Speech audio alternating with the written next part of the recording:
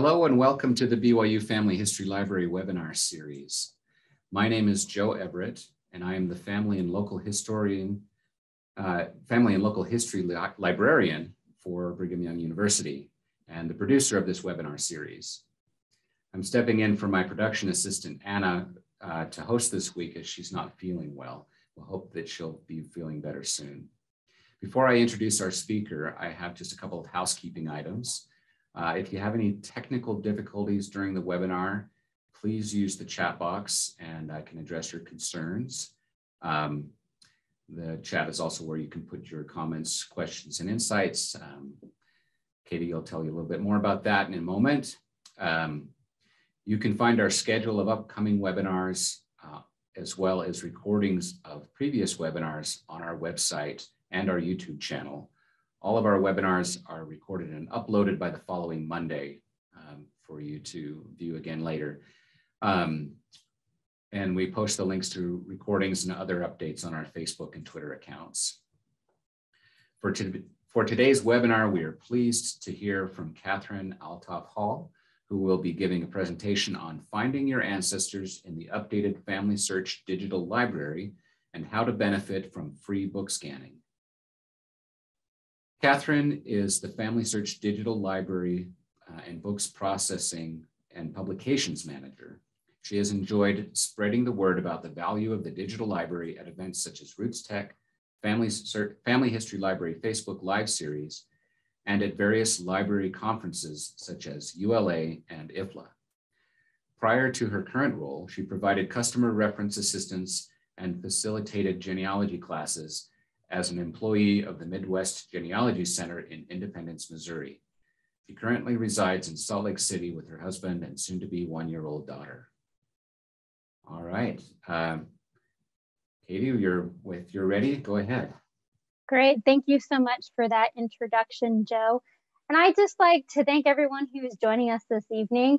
Here in Utah, it's five o'clock. It is the end of a workday. And for some of you, if you're East Coast or Midwest, it's even later in the evening. We appreciate you being here this day.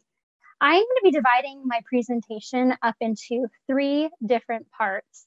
The first part is going to focus on the Family Search Digital Library. We actually just went through a new UX design. Wanted to highlight a little bit of the newness to the site. The second component of the presentation will be talking about um, Roots Tech and we know that that's coming up. And then the third component of the presentation will be talking about how BYU is participating in Roots Tech this year in a very specific way. After each one of these different parts, I will be pausing and encouraging you to put questions into the chat about what I just spoke about. And then I'll answer those questions We'll move on to the next part. Feel free though at any other time to put questions in the chat. It just will be after each one of those parts I actually address those. So for now, I'm gonna go ahead and turn off my camera or else you're going to be so confused by my eyes looking all over the place at three different screens. And we'll get started with talking about the new Family Search Digital Library design. Let me give you a little bit of background about Family Search Digital Library what is this? So the Family Search Digital Library is an online collection, has over half a million family history, maps, yearbooks, city directories, biographies, and genealogy books. Why do I have genealogy books separated out? Well, there's a lot of things that fall into that. Could be indexes for cemetery records. It could be an index to church records that someone's transcribed. There's so many different types of books out there that assist those who are working on their genealogy. All of these books are available free at the Family Search Digital Library, and you will see the web address there. Just so you know, at the very end of this presentation, there is a slide that contains a list of a lot of what I'm going to show you today, different websites that I'll be taking you to. And there will be a lot of live demonstrations and not just PowerPoint. So hopefully I can keep you with me. Now, how do we have over half a million books and that number continues to grow? It's because we have awesome partners around not just the country, but around the world. We're up to about 25 different book scanning sites. These sites are generally in libraries. Some are in genealogical societies or family history societies. Uh, local history societies, I guess is what they would are referred to. And those are predominantly our partners. We send volunteers there. They are able to go through the collection, select books that fall into public domain, they do the scanning of the books. The images that are received after the scanning, that's what my team then works on. They do OCR processing and get the images online. A little overview on the project itself and how we got such an awesome online collection. Some advantages of the digital library. You have access anytime. During COVID, you had libraries shut down, but we were still able to provide content digitally by accessing it through the site. OCR. Many of you are probably familiar with that abbreviation. It stands for optical character recognition.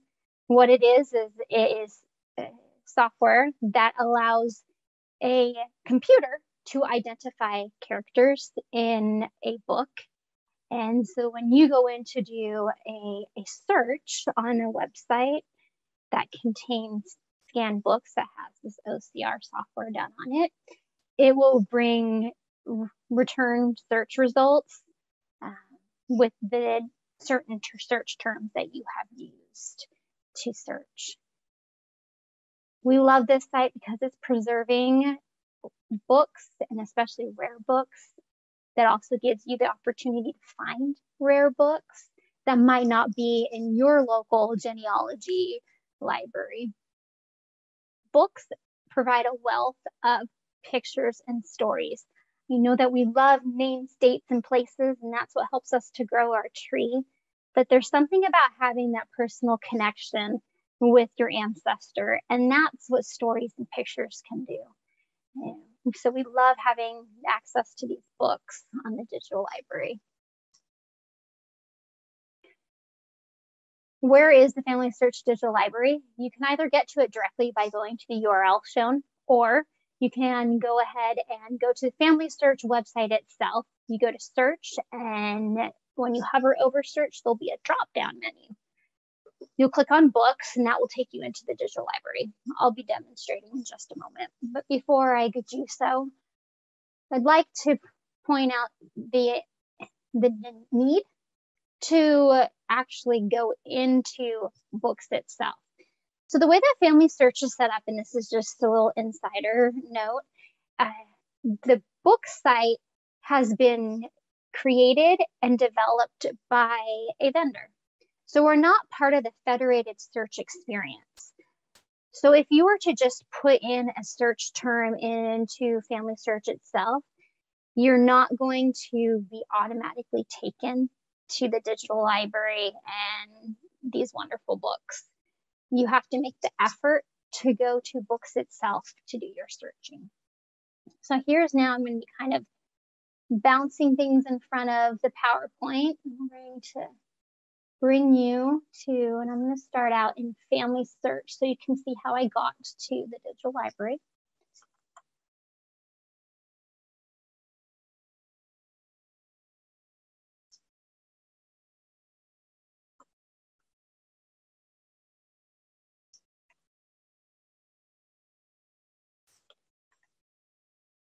Right now we're doing heavy advertisement for Roots Tech. At the top banner, you will see some options in the bar at the top. You're going to click on search, go down to books.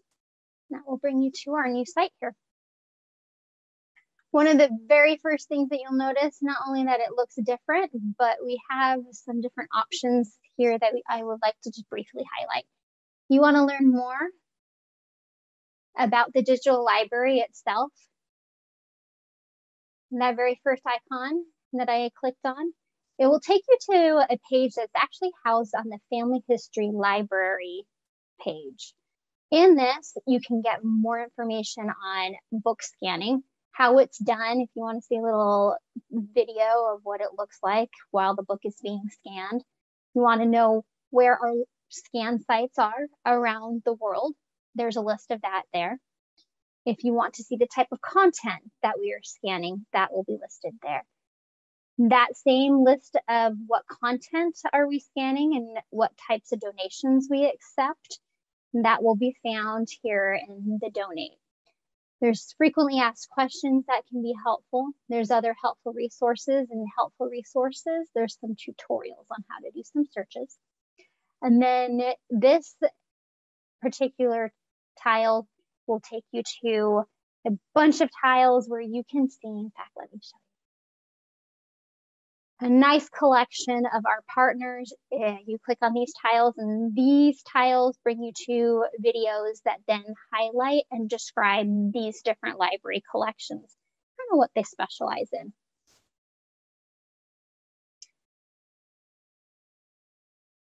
There's also some testimonials of people who have used the digital library either because they have donated content and they've used the site as a way to preserve their family history books, or they have actually used the site to find help information to help them in their in their research.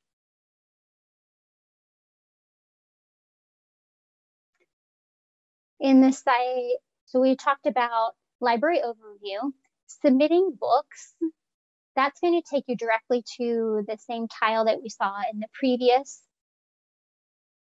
screen. And there's a video here that tells you how to go about the donating content. And then this final digital library partners, and this is going to show you a list again of our partners. The way that this behaves though, if you were to click on the actual title or the library institution name, it's going to take you to all of the books found in the digital library that we would have scanned from that particular location.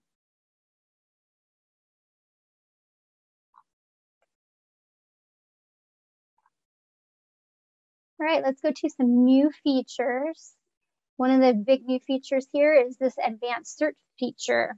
When you're using Google, you don't go on usually and use operators. It's not like I'm saying I'm looking for sneakers and pink and running.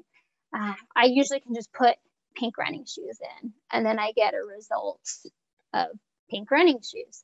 So the intent with the, the way this advanced search is set up is that you're not necessarily having to type in those different operators that you are just going to select that. We're not as fancy as Google yet. Someday we'll be as fancy as Google. Uh, but you will be able to go ahead and put in a search term and then you can select which operator you're going to, to use. The way that our metadata works, these are really the main ways to search is title, subject, author keyword, that's where you would put, say, a surname, or if you're looking for a yearbook, you put the school yearbook's name in the keyword search there. So I'm just going to bring up, I'm going to do schools and I'm wanting to do schools and I'm going to do in, I want it to be a school in Missouri. And so I'm hoping Missouri's in the title. To put Missouri. I'm going to do a search.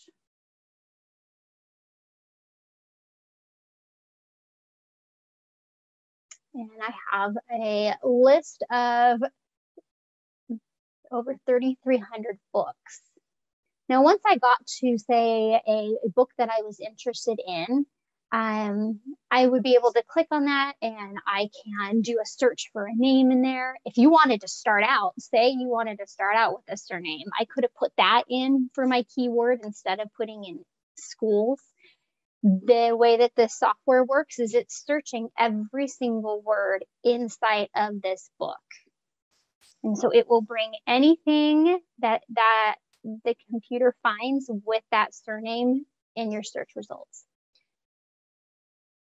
You can see here that on this side, you have ways that you can then adjust your searches. You can add elements. You can do a reset. If I were to add something in right now, I could do an update. It's nice to be in your search, then you can limit while you're in your search listing. Another, this is a new feature. If you were to go under creator, it also has it under owning institution, but if you click more,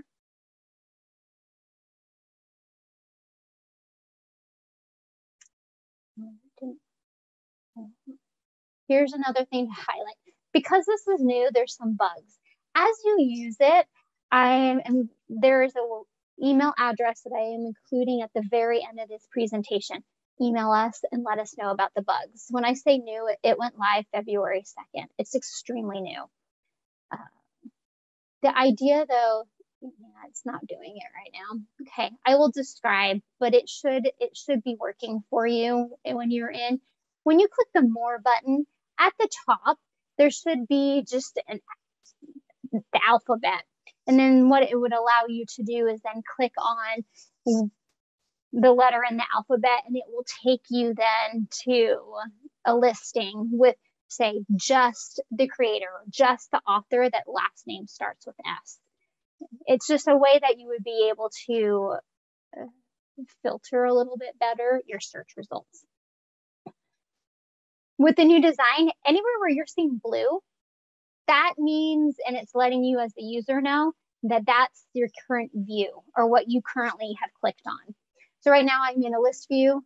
I click on grid view, it's going to uh, display the books in a completely different way. I like this grid view if I were wanting to potentially um, go in and I could save it as a PDF. Uh, see, you all are helping me so much. I'm already seeing errors. So for this, if I were to go in, I would want to have the PDF have every single one of these books on a page so I could save it in my research results. Right now it's putting one on every page. I don't think that that's very helpful. We'll go take a look at that. If you agree with me, let me know. Um, here's a, a history book of Missouri. When I click on the book itself, I haven't signed in yet. What it's going to end up doing is when I do the view inside, it's going to prompt me and ask me to, to sign in.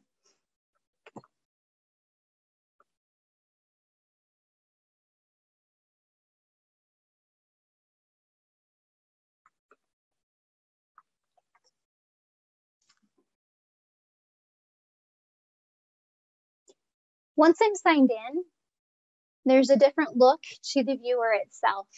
The icons are now at the top. They used to be at the bottom. How I mentioned, anywhere where you see blue, the system is trying to tell you that's the view that you are in. So right now I'm in picture view. Now you have option to thumbnail view. When you're in thumbnail view, when you use your mouse wheel, it will now zoom in so that you can then see that particular image. And it's nice that it will put that image into a clear focus. And to then just go back to optimal zoom, you just click on the icon, the optical zoom, optimize zoom icon. If you want to know more about the, book itself, more metadata information, that's what the eye, the view information is going to share with you. You also, if you, let's click on one particular page. This little box that says show text, what it's doing is it's showing you everything in blue is what the soft, the OCR software took a look at, and then it, for lack of a better word, transcribed and put that over here and you'll see this in text view. When you click on that text or the show text it is showing you in that format. The thing that's nice about this you can highlight and then you can copy and paste that. You could put it in research notes if you would like to put that in research notes.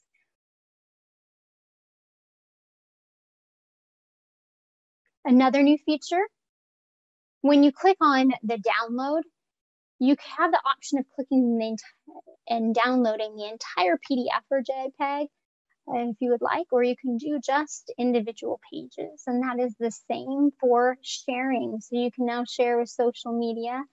And if you were to copy a link, you can copy by the entire book if you want to share the whole book with an individual. Or say you're just wanting to highlight in your family tree just a page from a book, then you can copy that link and then you would be able to connect it as a source onto your family tree. There's not a fancy way of connecting the source right now. You would have to go in and create your source and include this link. Unfortunately, there's not just a magic button that automatically connects the source to your tree. Those are the highlights of what is new inside of the actual viewer and on the digital library itself. I'm going to pause there any questions?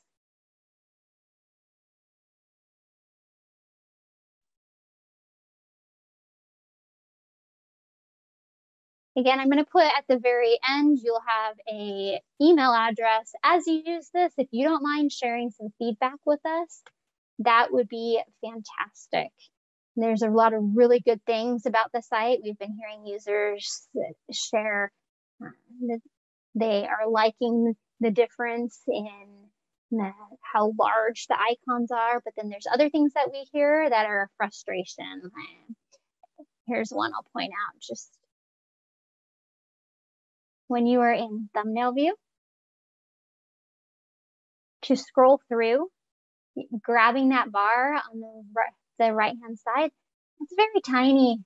It would be nice to have that increased. So that's something that we're, we'll make sure that we have the, the vendor implement. But other suggestions, would love to hear it. I have are a the, couple questions coming now. Um, are the books a U.S. collection or does it include books from other countries? Okay, I'm. This is the way I'm going to answer that question. Is I'm going to do a show rather than just a tell. When it, so one of the, you can just click search, it'll show you how many books we have total in the library. And on the left-hand side of the page, one of the things that you, you'll notice is there's a language button. It shows all the different languages that we have in the Family Search Digital Library. Um, so you have Thai, there's Chinese, there's German, there's English. And so my answer to that question is we have books from all over. There's Japu in in this collection. There are lots of German books that you will find. Our vendor who we work with, they're actually based out of France, and we have some books that have been scanned from that area. Um, and then, like I said, we're also international, and so we have a scan, a couple scan sites in Europe currently. All right. Another question is: Does RecordSeek work uh, to attach items from the digital library as a source? I don't know if that does. If it's something that Family Search developed specifically for attaching records for Family Search, then probably not, because we are separately created by an outside vendor. We don't have that automatic connection to Family Search trees. It's something that we'll be working towards. Okay. I think that's all the questions for Great. now. Okay, thanks. So we talked about new look, we talked about questions. Okay, Roots Tech 2022. The theme this year is share your family story. It's going to be March 3rd through the 5th. I'm gonna do a little bit of highlighting of this.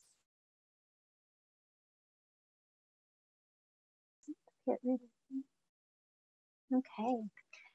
This is what you would see online today. If you were to go to the Roots Tech homepage, you can go to familysearch.org. It's going to be on there. They're going to have you clicking into this Roots Tech homepage.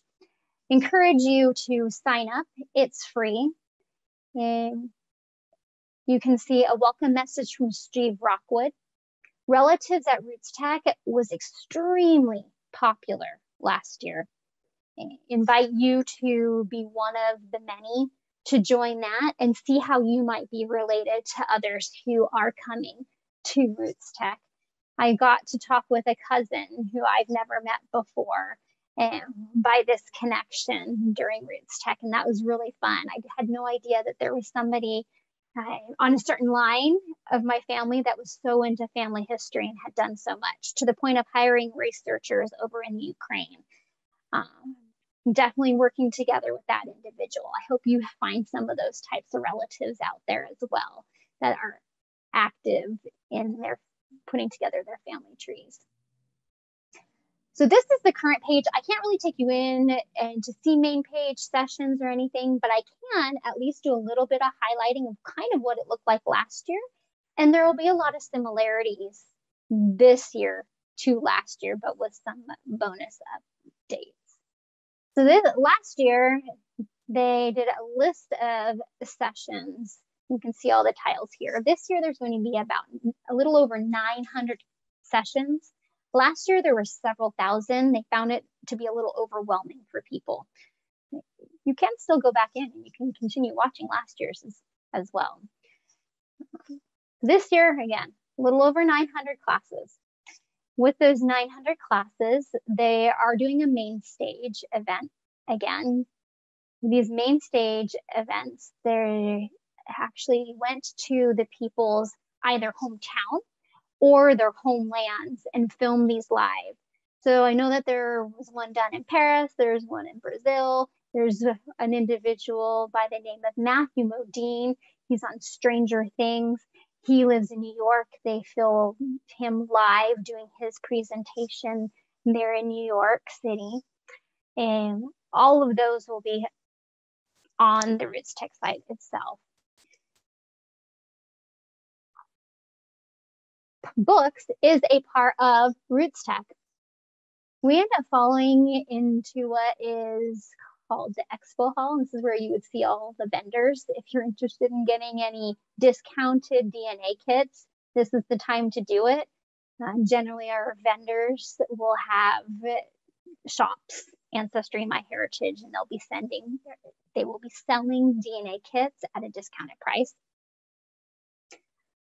So we would be a part of the family search booth, the, the digital library and book scanning. There'll be an icon Again, this is last year, so it'll look a little different this year, but there'll be an icon that looks like this that then will take you to our booth, which this is what last year's looked like. I already highlighted it. This year's will look slightly different and there'll be some different resources this year, especially with our new UX design. So if you're hoping to get a little bit more of search demos out of this particular presentation today, come to Roots Tech Expo Hall. There are a couple pre-recorded demos on doing searching in the new site itself, and that could be of use to you.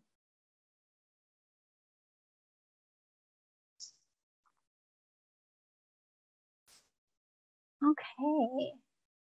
Any other, or do you have any questions about Roots Tech? I can see what I can answer specific to it. Uh, uh, one of the questions is, will we be able to look at sessions before the third to review and line up our watch list? My understanding is they're kind of doing it day of uh, for announcing the classes. Um, the earliest that I could see them doing it would be potentially the day before uh, 11 o'clock or after. Um, there has been rumor of that. I cannot guarantee. So I would say day before, look 11 o'clock or after and see if they have it up.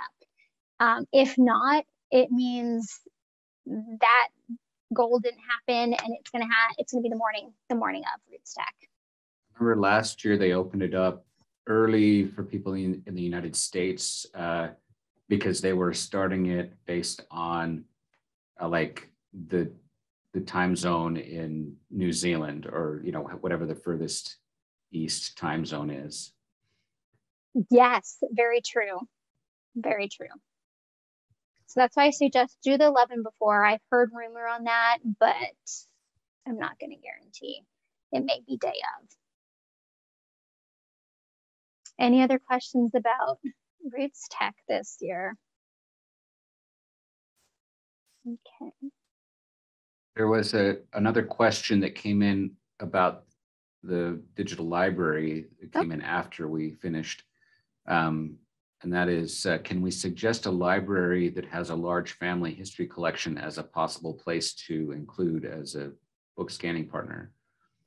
Yes, in fact, we would welcome that. Let me.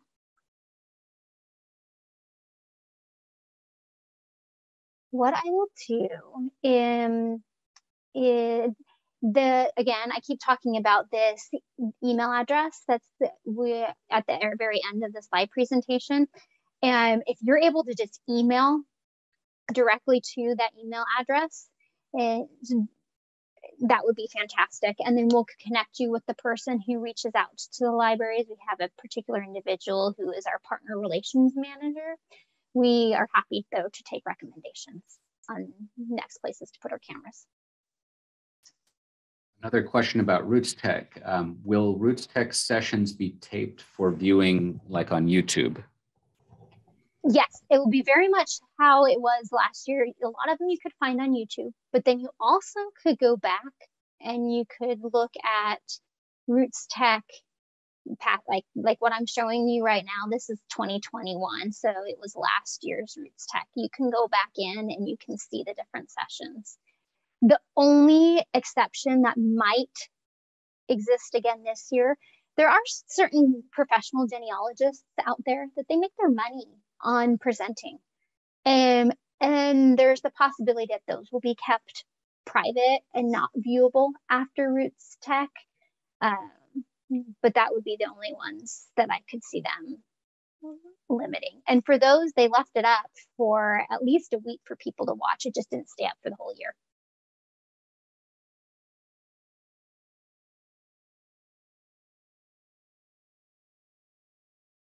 All right, a couple more questions. Um, let's see. Uh, someone says, I, I signed up for Roots Tech as soon as it was announced. I received a confirmation, but have not received any additional information.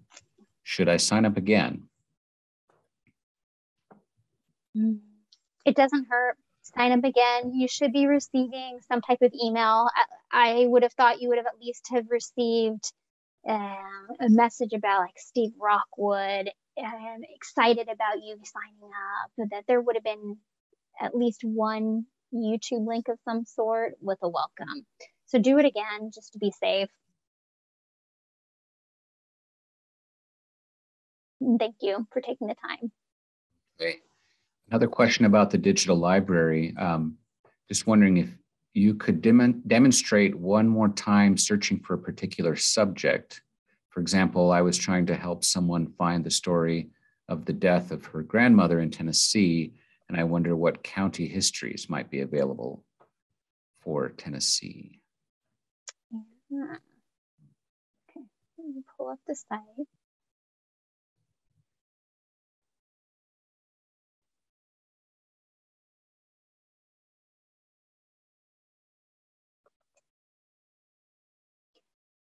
Okay, what person, the person who shared the question, could you tell me a county name?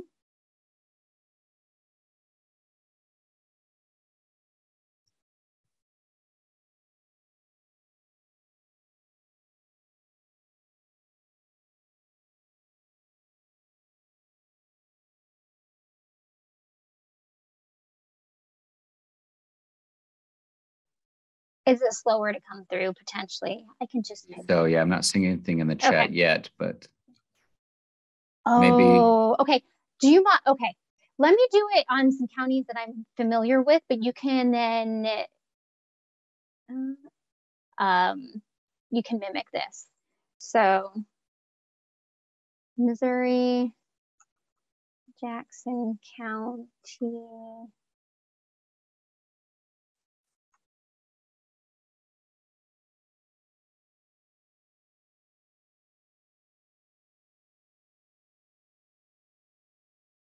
So now this, you can see that it's bringing up atlases. I have some histories of Jackson County that are coming up in this listing. Um, I would at this point, you might even want to add in if you knew the particular family name, put that in as well um, as a potential subject as well and see what you would get up or have in your research results. If it doesn't work in the subject, I always suggest you go back and do keyword. And the way that the metadata works and with the cataloging is they try to find as many of the surnames that the book might have in it. And then they will include that in the cataloging under subject. But obviously, if it's on an index or in some sub some books, there's going to be a lot of surnames, and so they're not going to be fully listed. So I'd look in keyword and I would check under um, subject, both those locations. Okay, thank you for that. Back to Roots Tech, will there be any indication which presentations will be pay only so we know to watch them during allotted times? Okay, so usually, yes, it's the people who uh, are the professionals. Um, I don't know the answer to that question. And if you send an, an email to uh, the link at the end, I can find that out for you, though, and would be happy to do so. Okay, looks like we're ready to move on. Okay. So we just talked a bunch about Roots Tech, and uh, we wanted to share with you, and this is kind of how I ended up getting invited to come do this, is that BYU and Family Search is partnering to do some book scanning during Roots Tech itself. I mentioned that we reach out to libraries, genealogical societies, and we scan their books, but that's not the only group that we scan for.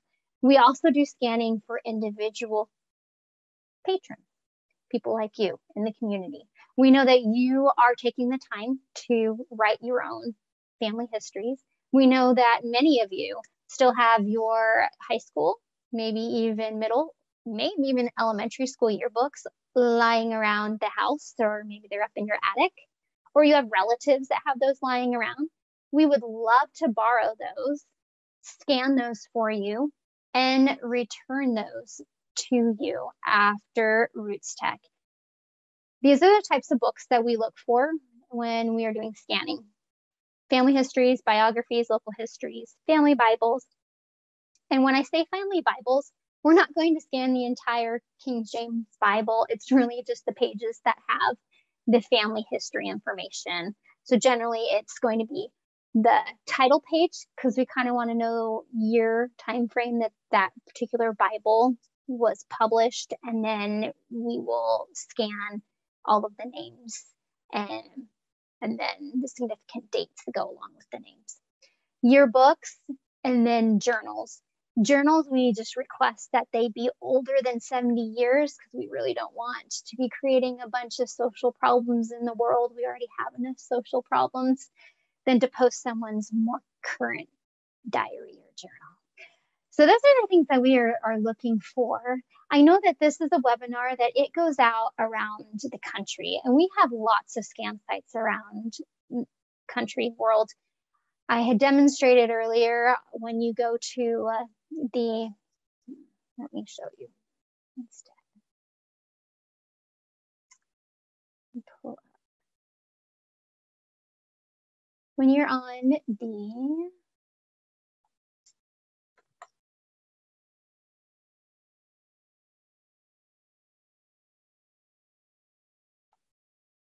Family Search Digital Library where you have the library overview. And I had mentioned that there is this book scanning section and there's a list of all the different sites. If you happen to live by one of these locations, they also are willing to accept donations for scanning and then they will return those to you. So you can find a location near you. So during Roots Tech, the way that this is going to look is,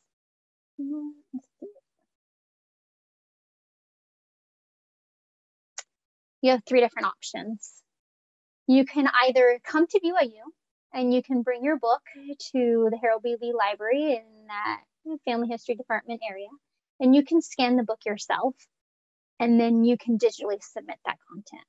If your particular book is something that you self-published or a family member self-published and it's already in digital format, then you can submit digitally. I'll show you what that form looks like. The third way that you would be able to contribute to the digital library would be by dropping off your particular books to BYU, that same area, family history area, Harold B. Lee Library.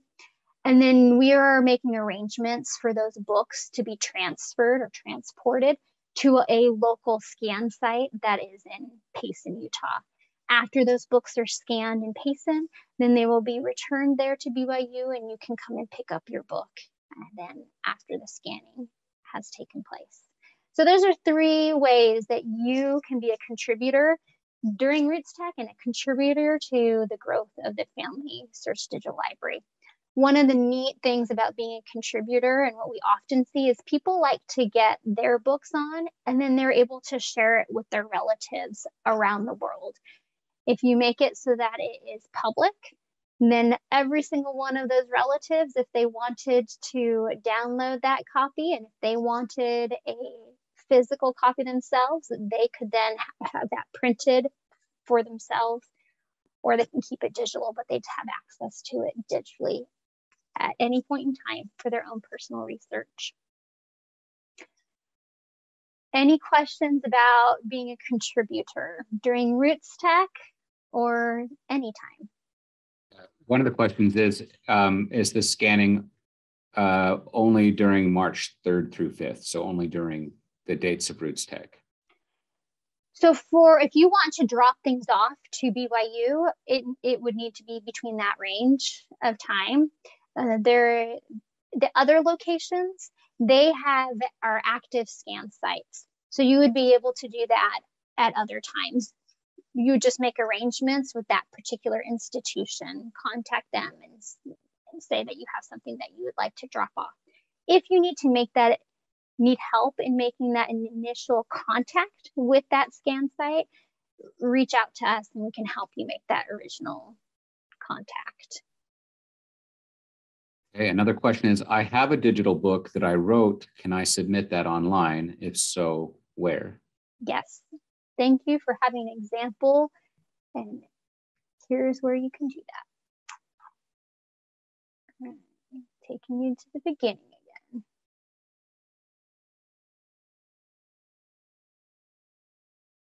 Um, start from here. Okay, again, we went to Family Search Digital Library. I'm going to go to the library overview. Inside the library overview, there's a donate tile. Click on donate and then submit digital books. Donate. The end of this PowerPoint, I actually have a link directly to this form so you wouldn't have to do the, that multi-step, but that's how you would get to it in the future. Eh, it takes you to this digital library donation form. Fill out donor information. If you have any additional comments that you would like to make, type it in.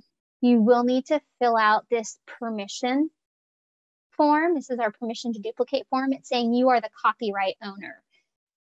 Any book that is has been published after 1927 and has a copyright, it needs this permission to duplicate form. Anything prior to 1927, it's out of copyright. We don't need permission if there's anything 1927 or more recent that just never was in copyright um, and it's before generally we go with 1966 if it's before then we usually can just put it online without getting permission. So the person who said that you have your digital copy you would then go ahead and complete this form let us know what the title the title of your particular work is. And then page is going you then click the browse files, find your file for your book, and then you can just upload the file. Uh, just I want to point out here these this is the file type that we accept. It's PDF, doc, docx, TIFF formats is what we accept. And thank you for considering donating. Katie, when they fill out the permission to duplicate form, do they also upload it by clicking on that browse files um, link yes. as well? Yes, great question. Yes. So you would need to save. In fact, I recommend permission to duplicate. The way that this form is set up, it's silly. And you have to download that form first and save it, fill it out. And then when you browse files, you're going to upload your book and you're going to upload that permission to duplicate form, both of those.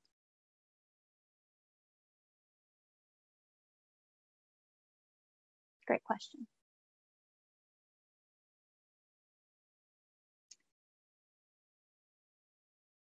Okay, well, any other questions? I'm going to kind of leave it at that. That's your little brief overview of some of the newness at the Family Search Digital Library. We'll overview of Roots Tech next week and then ways that you can contribute during Roots Tech and, and that you can contribute year round at any point to the digital library. One other thing, if you do contribute during Roots Tech, we did send a bunch of swag, a bunch of free little things down to BYU and to our other scan sites around the country as a thank you to you patrons for taking the time to bring your content in. And we would love to share that with you when you bring your content. All right. There is one other question about Roots Tech. Um, it says, after signing up for Roots Tech and receiving my one-time confirmation, I found that when I sign into my Family Search account, it recognized that I had signed up. So I guess that's not a question so much as a comment. That so. would be helpful for the original person who said that she had signed up and she hasn't been getting any additional information.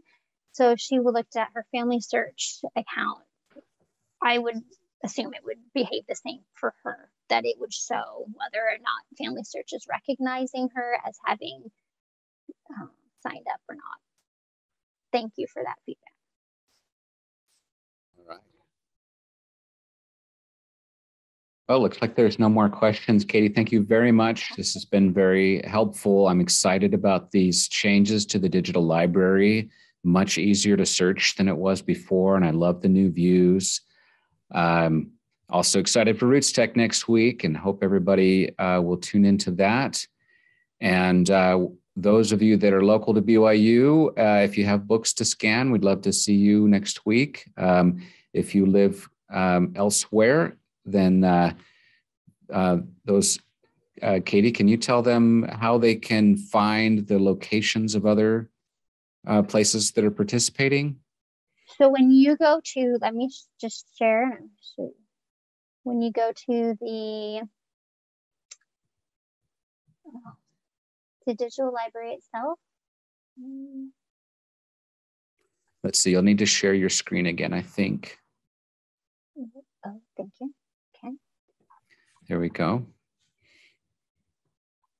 Okay, to see the list, you're going to do that library overview. I'm just taking everyone always back to the, the digital library homepage and then go to book scanning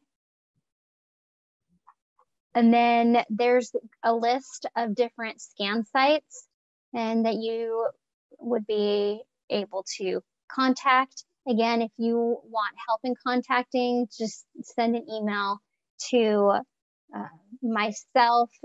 I'm one of the people who will be responding to, and we'll put this up. It's that link that to the or that email address, right? At the yes. There we go. Whoops. All right. So it's digital library at familysearch.org.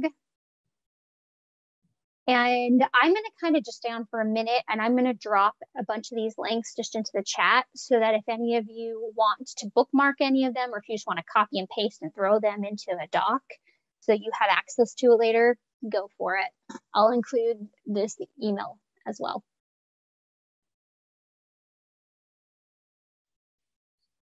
Uh, another question, the virtual scanning will always be available, not just during Roots Tech, correct? Like if you already have a virtual item and you want to upload it. Yeah, so anything that's born digital, that that form is always around. Yep. exact same way that I just took you to the scan site, you would just go to donation and that form is going to show up under donations, ways to donate. We have a comment that someone got an email with more info regarding Roots Tech um, and, uh, after registering a couple of weeks ago. So yeah, you should expect some more information to come by email. All right. Thanks for putting those links in the chat. Um, I'll give everybody an opportunity to copy those. If you want to copy the chat, the easiest thing to do is at the bottom of the chat window, uh, you'll see a little smiley face, and next to it, you'll see three little dots. If you click on those three little dots, you can click Save Chat, and it will save the chat um, to uh, a folder in your documents on your computer. So you can try that, or you can just copy and paste out of the chat. All right. Well, thank you again so much for that informative presentation, uh, Katie, and thank you all for attending. Um, let's see. Oh, I see. Um, Katie, you'll mm -hmm. need mm-hmm. to resend those links. Um, actually, I can do it really quick. They went just to the hosts and panelists. So let me change that to everyone. Oh, I see. And just a moment. There are the links again, uh, plus the uh, email address for all to see. Thank you for pointing that out. All right. Well, that concludes our webinar presentation. Um, again, I'll just leave this open to, for just a moment to give you a chance to copy the chat or the, copy those links. Um, if you um, happen to not catch them in time, there's the email address as well that you can email uh, and get those uh, directly from uh, from Katie. Thank you again. Have a great evening. And so we'll see you next week. A reminder to check our website for uh, the next uh, upcoming webinars schedule. Goodbye. Goodbye. Thank you.